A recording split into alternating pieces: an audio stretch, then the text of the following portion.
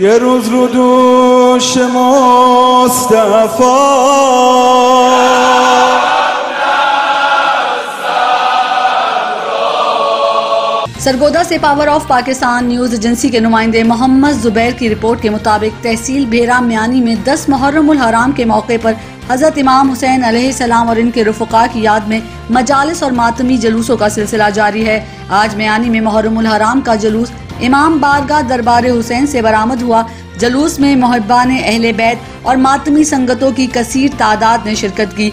अजादारान हुसैन सलाम ने नोहा खानी, जंजीर जनी और मातमदारी करके शहदाय करबला को पुरसा दिया।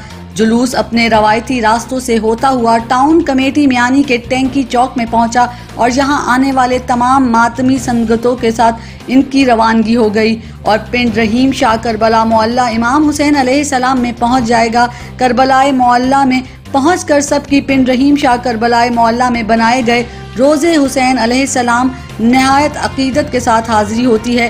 करबलाए मोहल्ला में तमाम मातमी संगतों और अजादारान और आए हुए तमाम मेहमानों के लिए लंगर हुसैन सलाम का वसी इंतज़ाम किया जाता है।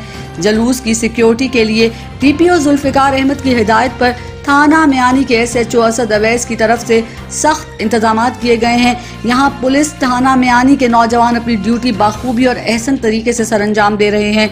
इसके साथ साथ सिक्योरिटी और अस्पताल के अमला भी अपनी ड्यूटी सर अंजाम दे रहा है। जलूस चार बजे पिंड रहीम शाह करबलाए मोहल्ला में अख्ताम पजीर होगा। रिपोर्ट कर रहे हैं Mohammad Zubair, general manager, power of Pakistan news agency.